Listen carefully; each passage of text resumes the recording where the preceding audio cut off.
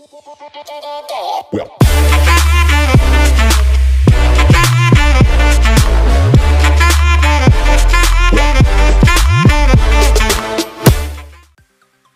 tout le monde, c'est Vaton, c'est pour le résumé du match Belgique-Japon, c'est un score de 3 buts à 2 pour la Belgique, encore c'est un match standard que masse pas déjà fait.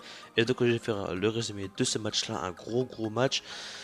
On s'attendait pas du tout à un tel scénario, c'est vrai que ça a été très très surprenant que le Japon ait autant tenu face à cette équipe de Belgique, ils ont même fait plus que tenir, mais bon, on en reparlera un peu plus, tard dans la vidéo.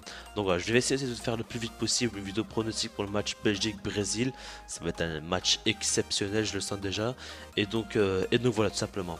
On va directement commencer par la première mi-temps, ce qui s'est passé tout simplement c'est que la Belgique et le Japon se sont bien tenus. En fait, ce qui s'est passé surtout, c'est que euh, le, pardon, le Japon a beaucoup, beaucoup joué en bloc, bloc très bas.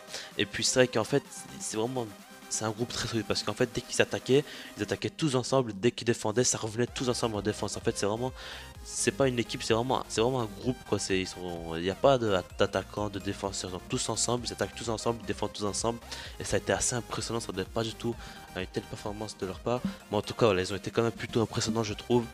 Et donc euh, voilà, après même temps c'est un score de 0-0, la Belgique a quelques petites occasions, pas de grand chose, le Japon aussi il n'y a pas vraiment eu grand chose. Et puis c'est vrai que dès la 48, 47e minute de jeu, à deuxième mi-temps, euh, le Japon a su mettre un but face à l'équipe euh, de la Belgique tout simplement. Et donc euh, ça a été un but, euh, ça a été un but complètement inattendu, hein, faut pas se le cacher. Donc sur un contre, ils sont partis avec une balle en profondeur et puis un but euh, de frappe opposée.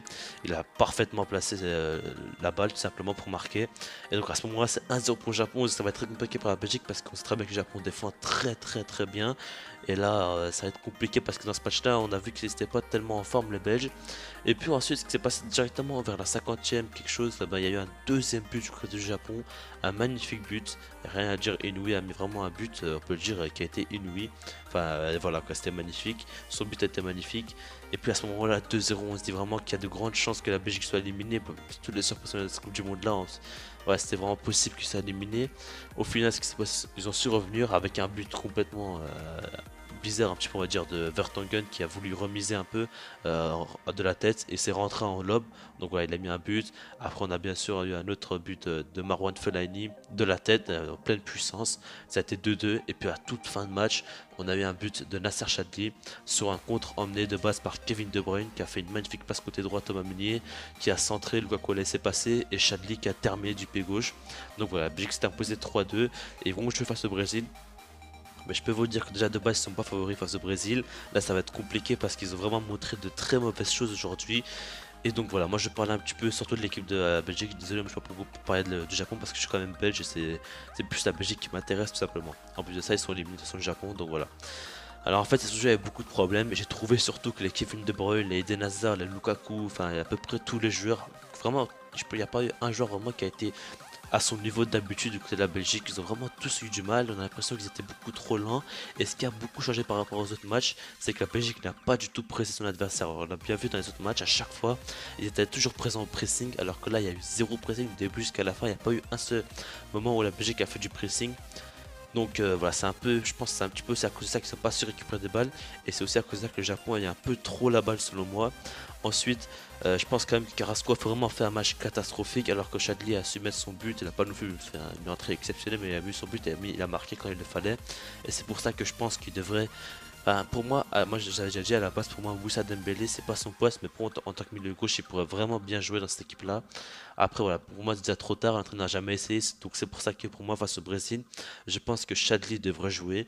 Et donc, euh, parce que Carrasco, c'est vraiment beaucoup trop catastrophique. Alors, certes, Chadli, c'est pas non plus beaucoup mieux, mais je pense que c'est quand même déjà un peu mieux. Enfin, après, il n'a pas eu le même boulot que Carrasco, mais voilà.